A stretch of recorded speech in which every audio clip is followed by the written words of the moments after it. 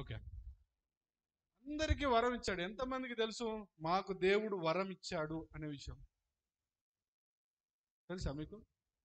తెలియదా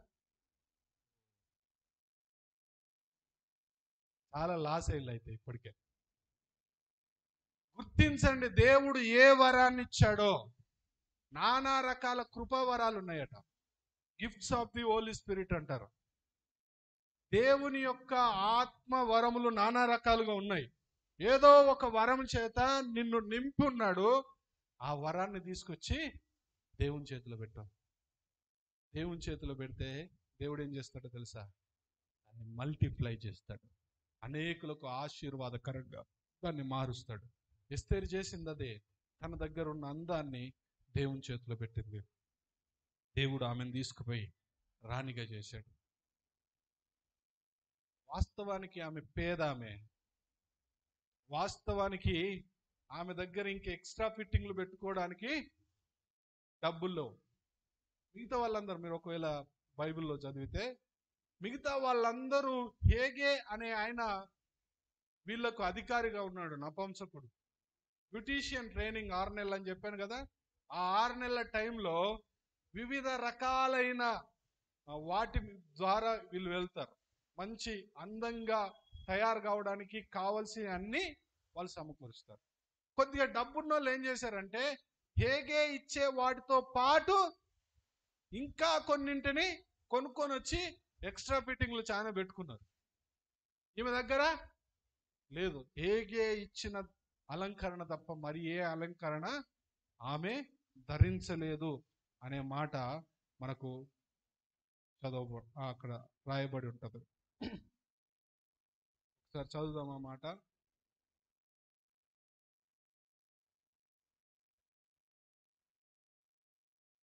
పదిహేనో వచనం రెండో అధ్యాయం పదిహేను వచనం. మోర్దకై తన కుమార్తెగా స్వీకరించుకొనిన తన పినతండ్రి అయిన హబీ హైలు కుమార్తెయగు ఎస్తేరు రాజునొద్దకు వెల్లుటకు వంతు వచ్చినప్పుడు స్త్రీలను కాయు రాజు యొక్క షండుడైన హేగే నిర్ణయించిన అలంకారము కాక మరి ఏమీయు? కోరలేదు. ఇంకేం కోరలేదట ఏమిచ్చాడో వాటితో సాటిస్ఫై అయింది. పోయి దేవి రాజు ముందు నిలబడ్డది రాజు ముందు నిలబడ్డప్పుడు ఏం జరిగిందట? మూడు విషయాలు మూడు సార్లు ఆ మాట రాయబడింది. దయ కనికరం అనే మాట. చూద్దాం ఒకసారి. రెండో అధ్యాయం తొమ్మిదో వచనం. రెండవ అధ్యాయం తొమ్మిదో వచనం. ఆ చిన్నది ఆ దయ దయ పొందను. ఏవలి దయ పొందింది? హేగే యొక్క దయ పొందింది. తర్వాత పదిహేనవ వచనం.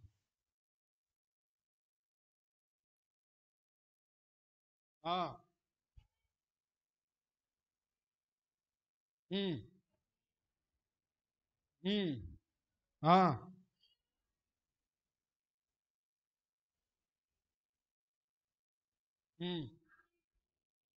కోరలేదు. ఎస్తేరును చూచిన వారందరికీ ముందు హేగేకు దయ పుట్టిందట. రెండోదిగా ప్రజలందరికీ దయ పుట్టిందట. పదిహేడవ వచనం. స్త్రీలందరికంటే రాజు ఎస్తేరును ప్రేమించెను. కన్యలందరికంటే ఆమె అతని వలన అలలోయ ముందుగా హేగేకి తర్వాత తర్వాత ప్రజలకి తర్వాత రాజుకు దయ పుట్టింది. దయ కలిగేటట్లు చేసింది ఎవరో తెలుసా? దేవుడు. ఎందుకో తెలుసా? ఆమెకున్నది తీసుకొచ్చి దేవుని దగ్గర పెట్టడానికి ఇష్టపడు అలలోయ అలలోయ వారికి దయ కలిగేటట్లు దేవుడు చేస్తే ఆమె పోయి రానయింది. చాలాసార్లు జరిగేది ఏంటంటే బీద స్థితిలో ఉన్నప్పుడు ఎంత సౌమ్యంగా ఎంత దీనత్వంతో ఉంటామో ఒక స్టేట్కి ఒక లెవెల్కి వెళ్ళిన తర్వాత ఉన్నత స్థితికి వెళ్ళిన తర్వాత ఆటోమేటిక్గా ప్రజల్లో ఏమొస్తుందో తెలుసా? ఏమొస్తుంది? Very good. హల్లెలూయా. కానీ ఈమె హై లెవెల్కి వెళ్ళిన తర్వాత కూడా ఈమెలో గర్వం ఏం కనబడదు.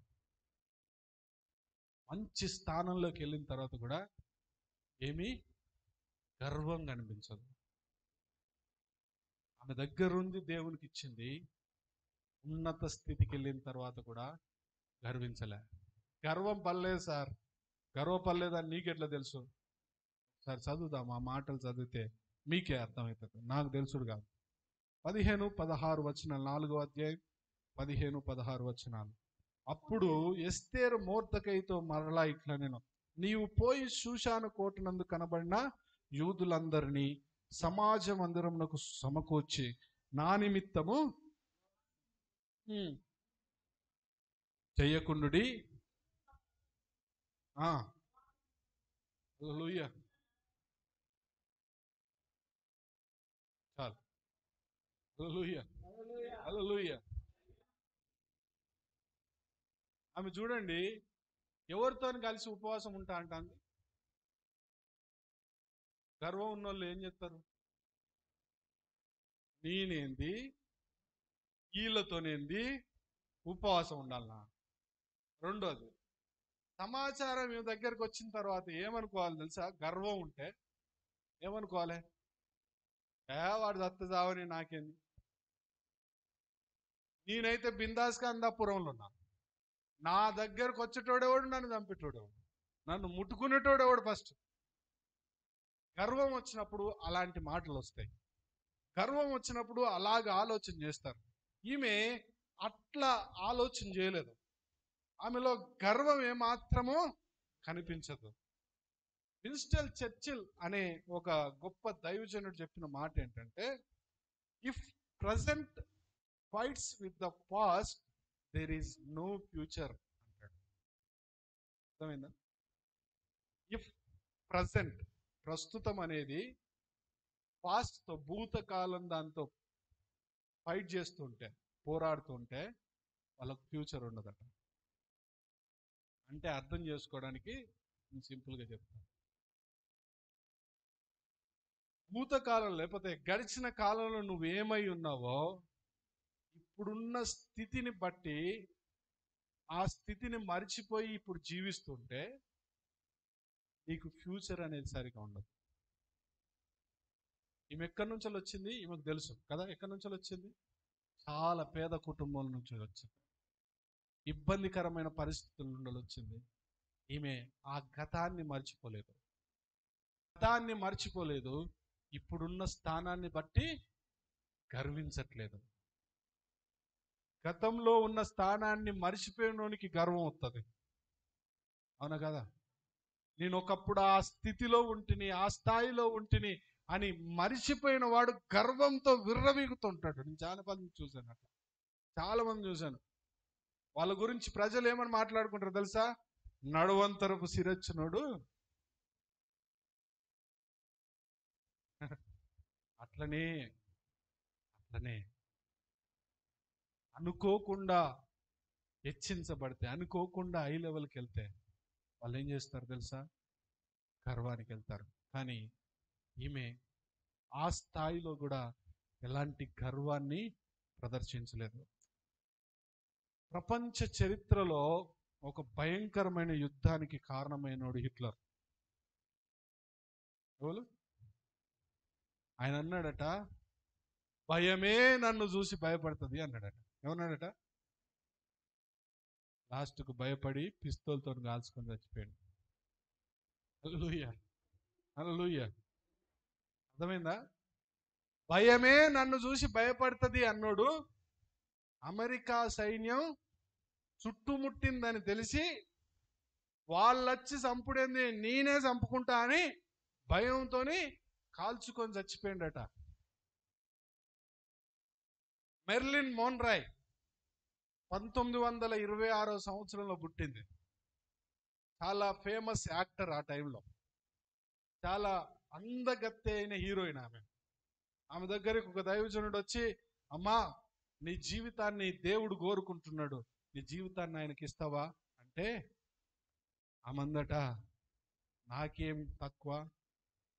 అందం ఉంది ఐశ్వర్యం ఉంది ఆ వయసు మళ్ళీపోయిన తర్వాత నేను వృద్ధాప్యంలోకి వచ్చిన తర్వాత నేను అప్పుడు ఇస్తా దేవునికి టైం అన్నమాట. అల్లలుయ్య ఈరోజు యవనస్తుల దగ్గరికి పోయి అడిగితే అనే మాట ఏంటో తెలుసా? సార్ మాకు ఇంకా బొచ్చే టైం ఉంది సార్. మాకు ఇంకా బొచ్చే టైం ఉంది.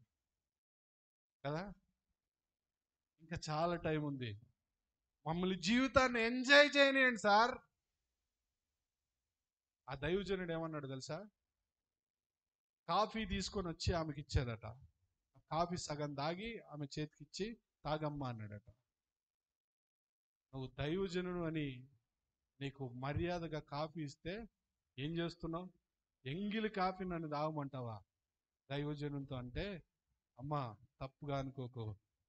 ఎంగిలి కాఫీ నేను నేను కొంచెం ఎంగిలి చేసి నీకు కాఫీ ఇస్తేనే నీకంత ఇబ్బంది అనిపిస్తే నువ్వు నానా రకాల పనులు చేసి నీ జీవితం అంతా ఎంగిలి చేసుకొని చివరిలో తీసుకొచ్చి వృద్ధాప్యంలో ఇగో నా జీవితం తీసుకో అని దేవునికి అర్పిస్తే దేవుని కొంత కోపం రావాలి అన్నాడట. అవును బిడ్లారా ఒకసారి ఈ మాట మీకు మీ హృదయంలో నాటబడాలని చెప్తున్నాను.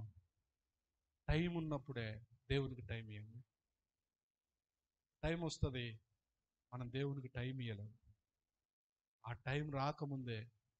ఇప్పుడు టైం మన చేతిలో ఉండగానే దేవునికి టైం ఇవ్వండి దేవుడు మిమ్మల్ని బలంగా పట్టుకొని వాడుకోవడానికి ఇష్టపడుతున్నాడు. మెర్లిన్ మొన్రాయ్ తన అందాన్ని బట్టి గర్వించింది. Michael Jackson. ఏమని తెలుసు? అందరు తెలుసు దాదాపు. పంతొమ్మిది వందల అరవై రెండో సంవత్సరంలో జన్మించాడు. ఆయన పేరు చిన్న చిన్న వయసులో జోసఫ్. ఏం పేరు? జోసఫ్. మైకెల్ జోసఫ్ జాక్సన్ యాక్చువల్గా ఆయన పేరు. మంచి క్రైస్తవుడు. కుటుంబం కూడా క్రైస్తవ కుటుంబంలో పుట్టాడు. డ్యాన్స్ అంటే ఫ్యాషన్ పెరిగింది. డ్యాన్స్ మీద ఫ్యాషన్తో దేవుణ్ణి వదిలేశాడు. అందంగా కనిపించడం కోసం చాలా ప్లాస్టిక్ సర్జరీలు చేసుకున్నాడు. ఒకసారి ఎవరు అన్నారట? జోసఫ్ దేవునికి నువ్వు టైం ఇవ్వాలి కదా. దేవుణ్ణి నువ్వు కనపరచాలి కదా అంటే ఆయన అన్నాడట. ప్రపంచంలో నాలాంటి డాన్సర్ ఇంకొకడు పుట్టడు అనే స్థాయికి నేను ఎదిగేంత వరకు ఎవరికి టైం ఇయ్యను అన్నాడట జీవితాన్ని ఎంజాయ్ చేశాడు. చివరికి ఎలాగ చనిపోయాడు తెలుసా? మత్తు పదార్థాలకు బానిసై చనిపోయాడు. మత్తు పదార్థాలకు బానిసై చనిపోయాడు. ఎందుకు ఈ మాట చెప్తున్నాను తెలుసా? గర్వం అనేది నాశనానికి ఒక్కడుగు ముందు నడుస్తుంది. గర్వం అనేది నాశనానికి ఒక్కడుగు ముందు నడుస్తుంది. వాళ్ళలో గర్వం కనబరిచారు వాళ్ళ జీవితాలు నాశనమే మెర్లిన్ మొండ్ర ఎట్లా చనిపోయిందో చెప్పలేదు కదా? ఒకరోజు అద్దం ముందు కూర్చుందట ముప్పై సంవత్సరాల వయసులో ముప్పై ఐదు నలభై సంవత్సరాల వయసులో. మొహం మీద చిన్న ముడత కనిపించిందట. ఏం కనిపించింది? ముడత. అయ్యో నా అందం అంతా పోతుందే నా అందం పోతే నన్ను ఎవ్వరు చూడరే అనుకొని మత్తు మందు తాగి పాయిజన్ తీసుకొని చనిపోయింది. ఆలోచన చేశారా? వాళ్ళ జీవితాలు ఎంత దుర్భరంగా ఉన్నాయో? ప్రేమిన వార్లారా దేవుని చేతిలో నీకున్నది పెట్టినప్పుడు నిన్ను హెచ్చిస్తే నిన్ను ఓ స్థాయికి నడిపిస్తే నీలోనికి గర్వం రానియద్దు. ఏం రానియద్దు? గర్వం రానియద్దు. గర్వం నాశనానికి ఒక్కడుగు ముందు నడుస్తుంది. గర్వం వెనుకనే వచ్చేదేంటో తెలుసా? నాశనం. ఆ నాశనం వైపు నువ్వు వెళ్ళొద్దు అని దేవుడు కోరుకుంటున్నాడు. అందుకే ఈరోజు దైవజనం ద్వారా నీతో మాట్లాడుతున్నాడు. ఏమైనా వార్లరా? ఆమె ఉన్నత స్థాయిలోకి వచ్చిన తర్వాత గర్వపడలేదు. గర్వంలోకి వెళ్ళలేదు. అంత మాత్రమే కాదు. ఆమె రిస్క్ చేయడానికి ఇష్టపడ్డది. ఏం చేయడానికి? రిస్క్ చేయడానికి ఇష్టపడ్డది. అంటుంది పదహారు వచనాలు చూడండి నాలుగో అధ్యాయం పదహారు వచనంలో.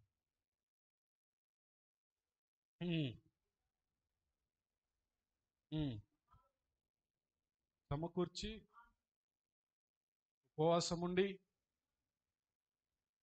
అన్నపానములు చేయకుండా ఉండండి. ఉపవాసం ఉంటాం.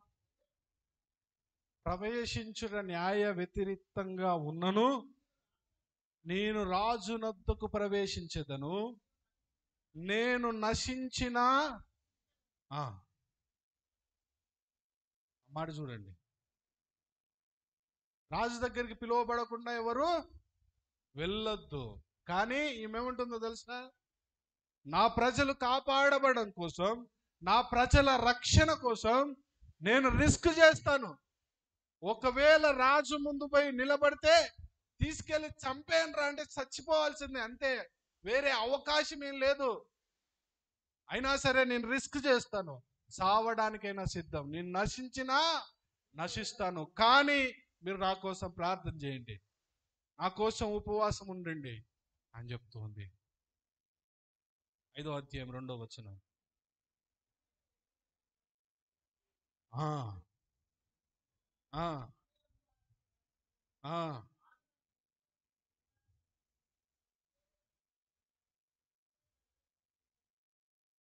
అలలుయ అలలుయ వారు ప్రార్థన చేశారు. ఈమె రిస్క్ చేసింది. ఏం చేసింది? ప్రాణాలకు తెగించిందండి. ప్రాణాలకు తెగించింది. ఆమె తెగించి రాజు సన్నిధిలో నిలబడ్డప్పుడు రాజుకు ఆమె ఎందు ఏం పుట్టిందట? మళ్ళీ దయ పుట్టించిన వాళ్ళు ఎవరు?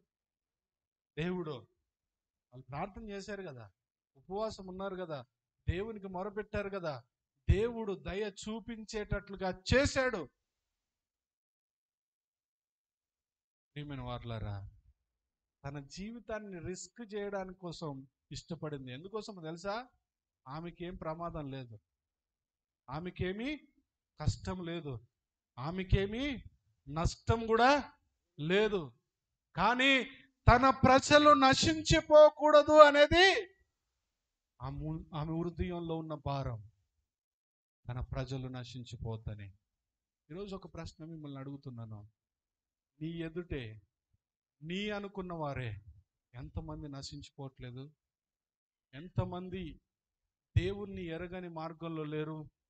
ఎంతమంది ప్రభు వైపు రావాల్సిన వాళ్ళు నరకం వైపు పరిగెత్తుతున్న వారు లేరు? ఎంతమంది నాశనం వైపు జోగుతున్న వారు లేరు? వాళ్ళ గురించి ఏమైనా రిస్క్ చేయడానికి నువ్వు ఇష్టపడుతున్నావా?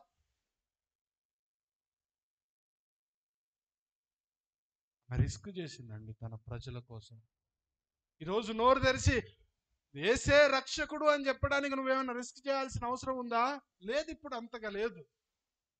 కొన్ని రోజులు అయితే వస్తుందేమో ఆ రిస్క్ కానీ ఇప్పుడు అంత అవసరం ఏం లేదు. పొయ్యి దర్జాగా చెప్పొచ్చు. ఏమని చెప్పొచ్చు?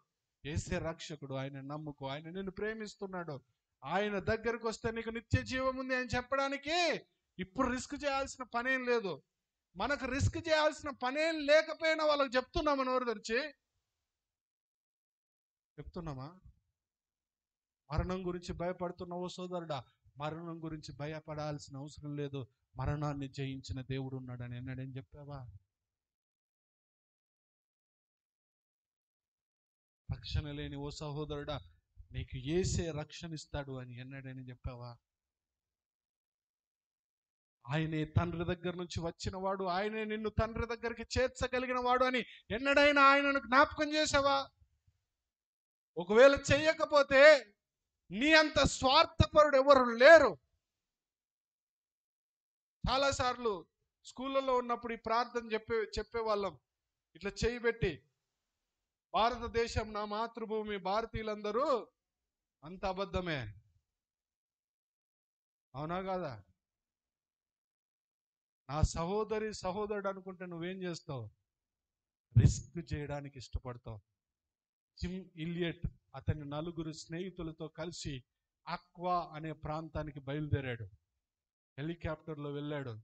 పాలిటెక్నిక్ చదువుతున్న సమయంలో దేవుడు తనతో మాట్లాడితే తనతో పాలిటెక్నిక్ చదువుతున్న ఐదుగురు స్నేహితుల్ని నలుగురు స్నేహితుల్ని కలిసి ఈయన ఐదుగురు ఇద్దరు ఒక అందరూ కలిసి ఒక చార్టెడ్ ఫ్లైట్ తీసుకొని ఆక్వా అనే ప్రజల మధ్యలోకి వెళ్ళారు. ఆక్వా ప్రజలు ఎలాంటి వాళ్ళో తెలుసా? నరమాంస భక్షకులు. మనుషులు కనిపిస్తే చంపుకొని తినేస్తారు. వాళ్ళ దగ్గరికి వెళ్ళారు డైరెక్ట్గా వెళ్తే పని కాదనుకున్నారు. ఎందుకు తెలుసా? కొత్తోళ్ళు కనిపిస్తే చంపుకొని తినేస్తారు. కాబట్టి పైనుండి చాక్లెట్స్ బిస్కెట్స్ పండ్లు వాళ్ళ పైనుండి ఆ ప్రజలకి విసిరి వేస్తున్నారట ఆ చార్టెడ్ ఫ్లైట్లో నుండి. కొద్దిసేపు తిరిగి తిరిగి తిరిగి వారు నవ్వుతున్నట్లుగా కనిపించినప్పుడు అరే మనకు రమ్మని ఆహ్వానిస్తున్నారేమో అని చెప్పేసి చార్టెడ్ ఫ్లైట్ దింపుకొని దిగి నడుచుకుంటూ వస్తున్నారట. వాళ్ళు కేకలేస్తూ వస్తుంటే వీళ్ళు మనల్ని ఆహ్వానించడానికి వస్తున్నారేమో అనుకున్నారు. కానీ వచ్చి వీళ్ళ మీద పడి వీళ్ళని చంపుకొని తినేశారు ఐదుగురిని. నిజంగా జరిగిన స్టోరీ ఇది ఐదుగురిని చంపుకొని తినేశారు. ఈ ఐదుగురి భార్యలు అమెరికా దేశంలో ఎదురు చూస్తున్నారు వీళ్ళ కోసం.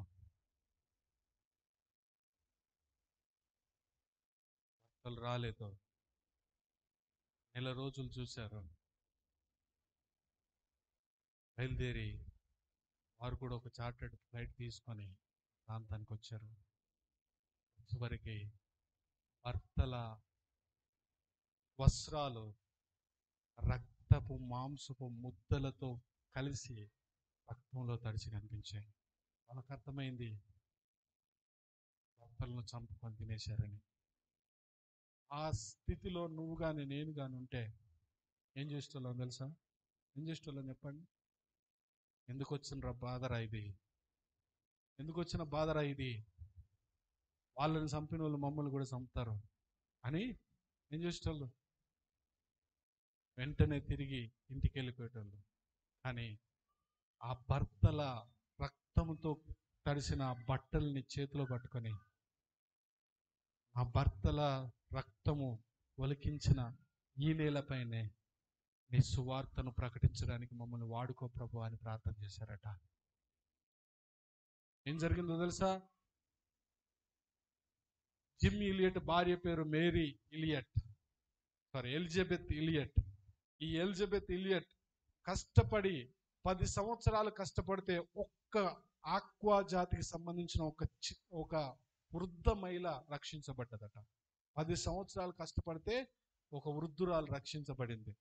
ఆ వృద్ధురాలు ఆక్వా భాషలో ఒక పాట నేర్పించింది ఆమెకి ఆ వృద్ధురాలికి. చికాగోలో మీటింగ్స్ జరిగితే చికాగో మీటింగ్స్కి పిలిచారు ఎలిజబెత్ ఇలియట్ని వాక్యం చెప్పడానికి. అక్కడికి వెళ్ళింది.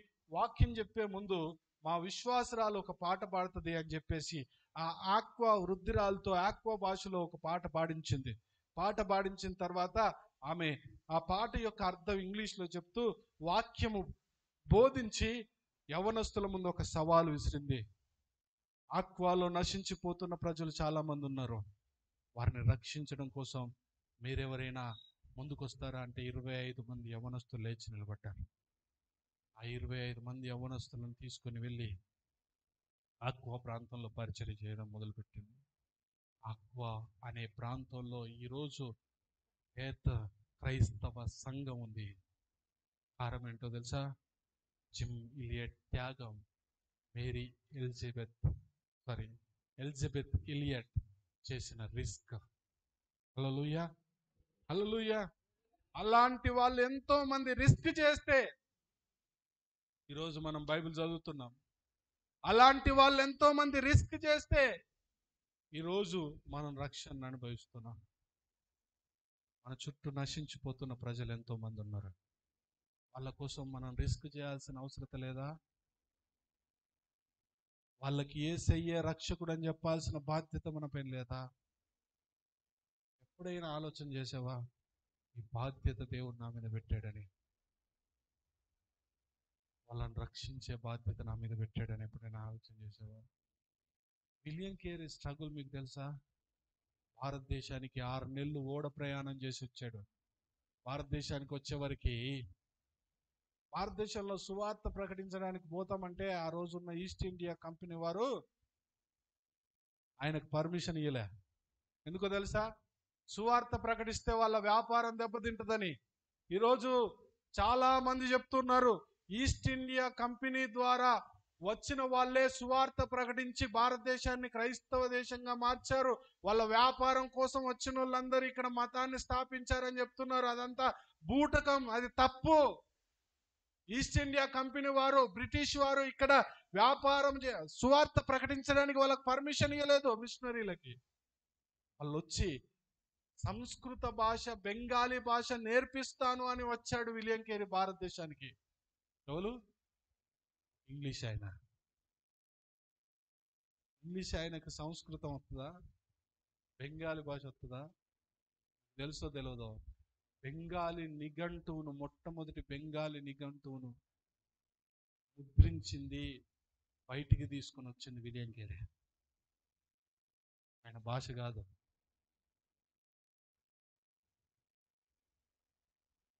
భారతదేశంలో పద్నాలుగు భాషల్లోకి పూర్తి బైబిల్ను తర్జమా చేశాడు. నలభై భాషల్లోకి కొత్త నిబంధనను తర్జమా చేశాడు. విలియం కేరీ భారతదేశంలో మొట్టమొదటి న్యూస్ పేపర్ స్టార్ట్ చేసింది ఆయనే. మొట్టమొదటి బ్యాంకింగ్ వ్యవస్థను స్టార్ట్ చేసింది ఆయనే. ఈరోజు మనం సొసైటీలు అని చెప్పుకుంటున్నామే. ఆ సొసైటీ వ్యవస్థ విలియం కేరీ ద్వారానే స్టార్ట్ అయింది. సతీ సహగమనం అనే ఒక దురాచారం రూపు మాపడానికి ఆయన లైఫ్ రిస్క్ చేశాడు విలియం కేరీ. ఈరోజు భర్తలు చనిపోయినా చాలా మంది వృద్ధురాళ్ళు బ్రతికున్నారంటే కేవలం విలియం కేరే కారణం. జీవితాన్ని రిస్క్ చేశాడు. ఎట్లా రిస్క్ చేశాడు సార్? అని అంటారు భారతదేశానికి వచ్చిన తర్వాత కొడుకు చచ్చిపోయాడు. కొడుకు చచ్చిపోతే సమాధి చేయడానికి కూడా ఎవరు రాలే. సొంత చేతులతో పట్టుకొని వెళ్ళి తానే సమాధి చేస్తున్నాడు. సమాధి చేస్తూ ఉంటే ఇదంతా చూస్తున్న భార్య అయిన డోరతి ఇదైపోయింది. రెండు సంవత్సరాలు గదిలో బంధించి ఆమెని బైబిల్ తర్జుమా చేయడం మొదలుపెట్టాడు. ఎంతమంది లైఫ్ రిస్క్ చేస్తే ఈరోజు నువ్వు నేను ఇంత స్వేచ్ఛగా ప్రభుని ఆరాధిస్తున్నామో తెలుసా? మనకు ఆ భారం ఉందా? ఎక్కడో ఉన్న విలియం కేరీకి భారతదేశంలో ఉన్న ప్రజలకు ఏం సంబంధం అండి? ఆయనకుంది భారతదేశం పట్ల భారం. నీవు నీ దేశం అని చెప్పుకుంటున్నావు నా దేశం నా దేశం నా దేశం అని చెప్పుకుంటూ తిరుగుతున్నావు. నీ దేశం పైన భారం ఉందా నీకు? నీ ప్రజల పట్ల భారం ఉందా నీకు? ఎన్నడైనా నా ప్రజలు రక్షించబడాలని మోకరించి ప్రార్థన చేసిన పాపన పోయావా? ఎన్నడైనా నా ప్రజలు రక్షించబడాలని ఆలోచన చేసావా? ఎవడైనా సువార్త వినని వానికి సువార్త ప్రకటించే ఆలోచన చేసావా? దౌర్భాగ్య స్థితిలో మనం ఉన్నామో చూడండి. మన వాళ్ళ పట్ల మనకే ప్రేమలని స్థితిలో ఉన్నాం ఒకసారి ఆలోచన చేయండి.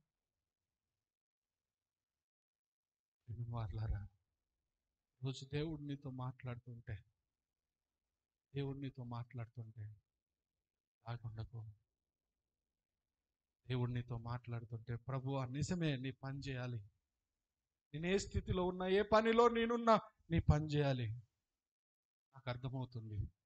నా ప్రజలు నశించిపోతుంటే చూస్తున్నాను కసాయి వాళ్ళలాగా చూస్తున్నానయ్యా. ఎంతో మంది ప్రభు నెరవకుండా చనిపోతుంటే కసాయి వాళ్ళలాగా చూస్తున్నాను.